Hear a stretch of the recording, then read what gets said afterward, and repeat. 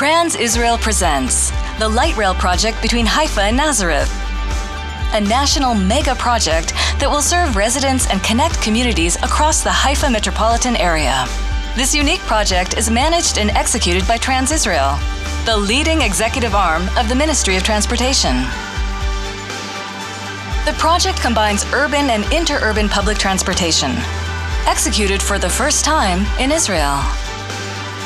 The light rail route will spread over 41 kilometers and include 20 stations, connecting Merkazit Hamifrat station in Haifa to Nazareth. The LRT is an electrically powered system, reaching up to 100 kilometers per hour on steep gradients while integrating into the environment. Accessible park and ride parking lots will be constructed along the route.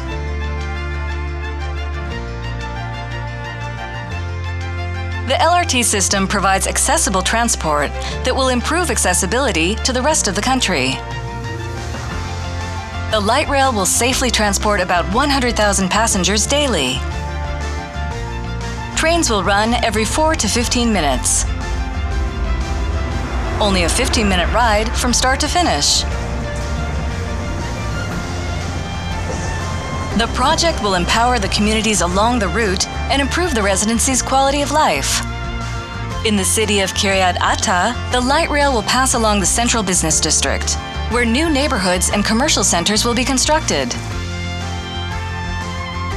At the line's eastern end, it will pass through Nof HaGalil, terminating in Nazareth, a significant destination in the north.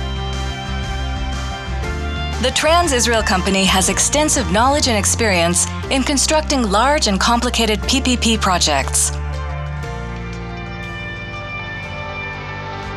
This national project will contribute to strengthening the North, developing the Galilee, bringing the periphery closer to the center, and reducing social and economic gaps.